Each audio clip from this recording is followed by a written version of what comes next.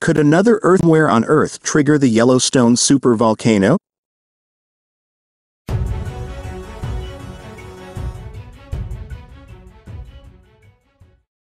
Triggered earthquakes are a thing. However, and here's what's interesting, the science behind it doesn't affect Yellowstone and its many geysers, hot springs, fumaroles and mudpots.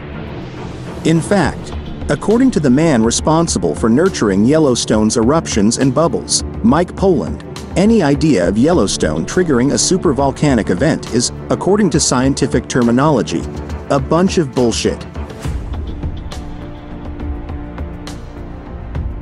Poland is one of several geophysicists whose cell phones start ringing every time an earthquake occurs near Yellowstone.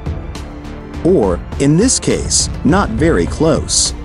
He works at the Cascades Volcano Observatory and is the scientist in charge of the Yellowstone Volcano Observatory, YVO, a consortium of nine partners formed in 2001 with the sole task of monitoring the Yellowstone National Park area every minute of every day.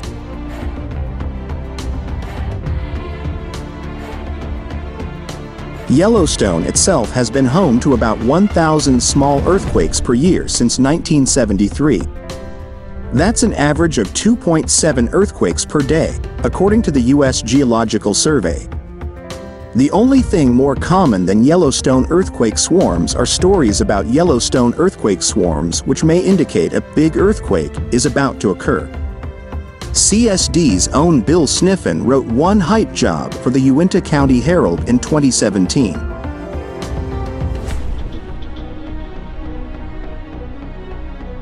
We did feel hesitant to contact the scientists responsible for the Yellowstone Shake Factory. He acted as if he knew the call was coming. That is an understandable thing. You see a pretty strong earthquake and you wonder if it will impact Yellowstone. And usually the answer is no, Poland said, reducing our story to one sentence. What about Turkey? Wouldn't that emphasize the fault lines and cause something else somewhere in the world to go against it? Mike was very patient with us, and once again the answer was.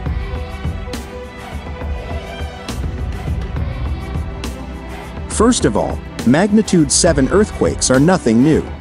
There have been 43 cases since 2000, and that's not unusual, Poland said.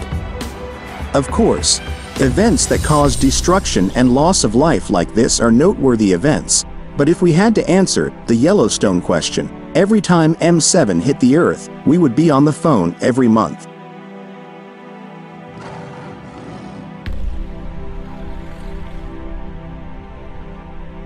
Poland acknowledges that large earthquakes, on rare occasions, can cause other fault lines to add pressure and possibly trigger an earthquake.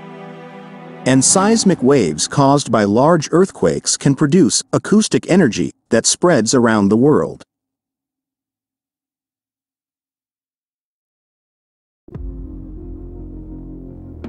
But could someone in Turkey stumble across Alaska that ignited Yellowstone? Definitely not, Poland said, it's very rare for an earthquake to trigger volcanic activity.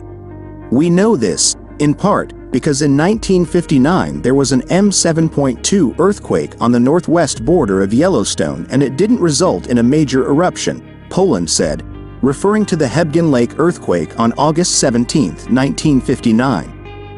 This changed some of the behavior of the geysers because they flowed around the underground duct system, but that's all.